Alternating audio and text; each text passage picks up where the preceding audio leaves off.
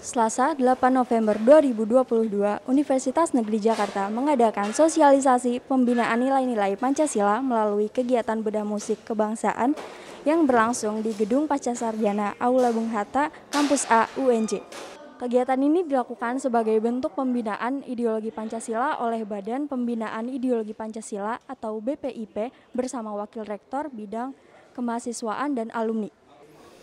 Bedah musik kebangsaan buat saya ide yang bagus karena mendekatkan Pancasila dengan milenial, anak muda. Musik itu bahasa universal dengan menggunakan musik sebagai wahana sosialisasi kreatif dan membuat anak-anak tidak merasa tertekan tapi menikmati sosialisasinya. Bagus.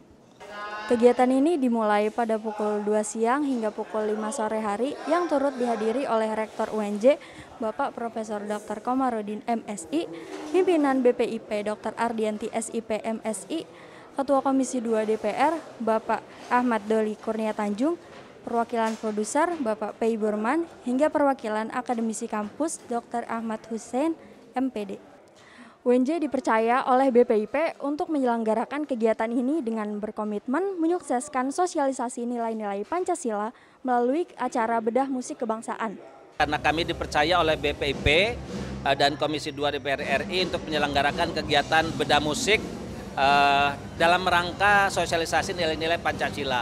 Nah kebanggaan ini tentu karena kita ini pertama kali di tahun 2022 dan uh, insya Allah kita all out untuk menyelenggarakan kegiatan ini agar berhasil dengan baik dan efektif.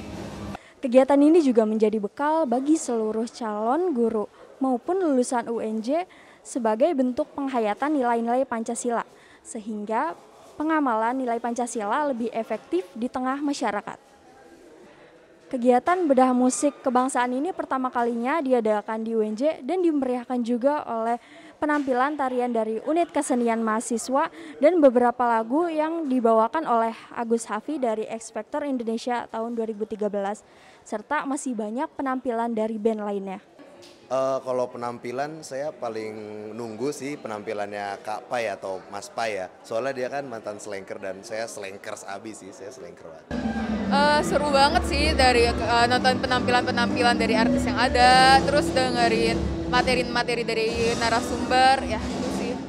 Penanaman nilai Pancasila dilakukan dengan mengaransemen ulang lagu kebangsaan menggunakan genre yang disukai anak muda.